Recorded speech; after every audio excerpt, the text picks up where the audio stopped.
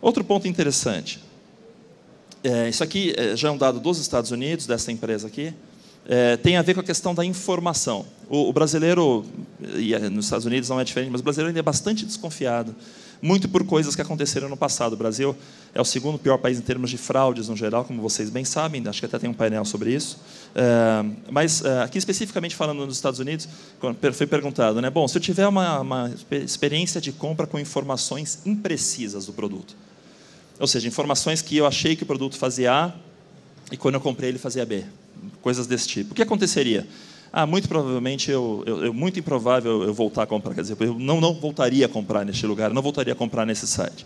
Então, existe, em função daquilo que a gente acabou de comentar, né? eu não tenho toda a informação do produto, eu não posso tocar existe uma preocupação muito grande de que essa compra seja uma compra segura, até porque existe a sensação de que devolver esses produtos é mais difícil do que devolver na loja. Eu não tenho como chegar com a cara física com alguém. Então, o ponto de informação é fundamental. E aí a gente, é, pesquisando um pouco o que a gente tem visto como coisas, teoria de comunicação pura, né? a gente tem percebido que vídeo é é, na verdade, não é nada novo, mas vídeo é fundamentalmente a grande forma de comunicação dos próximos anos. Todas as empresas têm buscado muita questão do vídeo. Nas mídias sociais, o Facebook está louco por desenvolvedores de vídeo, está tá comprando, está fazendo fomento a desenvolvedores de vídeo. E aí nós vimos uma um, um pequena demonstração que vocês devem conhecer, mas que eu faço questão de passar para compartilhar e ilustrar esse ponto. Tá? Então, Edgar, nós vamos agora para o vídeo.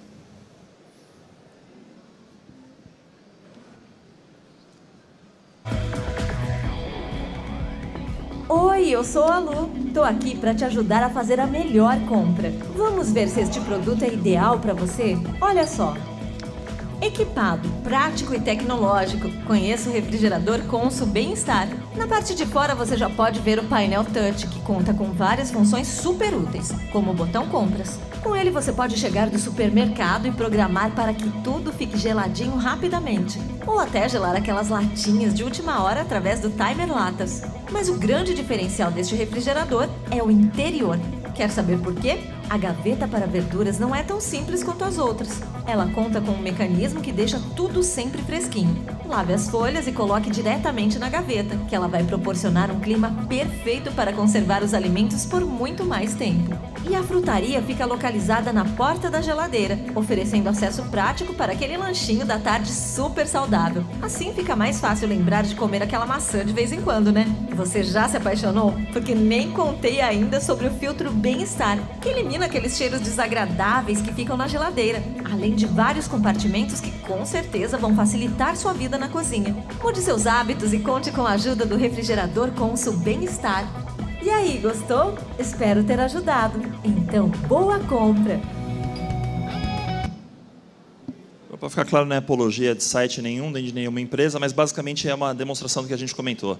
Existe essa tentativa tradicional de humanização, que é uma característica da, da rede, nesse caso, é, e existe uma explicação que excede as questões puramente técnicas e lida muito com o dia a dia, você quer mudar os seus hábitos, então traz um pouco aquela questão da interação, traz bastante da questão da compra é, bem informada nesse caso, porque a explicação é do que é e para que serve, é, e em forma de vídeo. As pessoas estão com preguiça de ler hoje em dia, então escutar um vídeo desse é muito mais fácil, muitas vezes, para conseguir informação. Tá bom? A ideia é simplesmente, então, ilustrar isso daí.